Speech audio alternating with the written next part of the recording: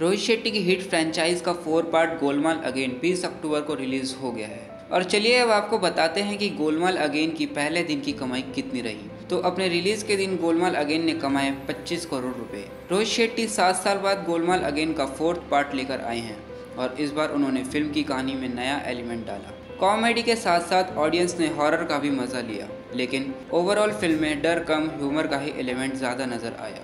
हालाँकि पहले दिन की कमाई को देखते हुए अब उम्मीद है कि अपनी फ़र्स्ट वीकेंड में ये फ़िल्म 60 से 80 करोड़ का बिज़नेस कर सकती है। यानी अपने पहले हफ़्ते में ये फ़िल्म 100 करोड़ क्लब में बेशुमार हो जाएगी। वैसे जब भी गोलमाल की सीरीज़ आती है तो इसका हर पार्ट पहले से बेटर ही होता है।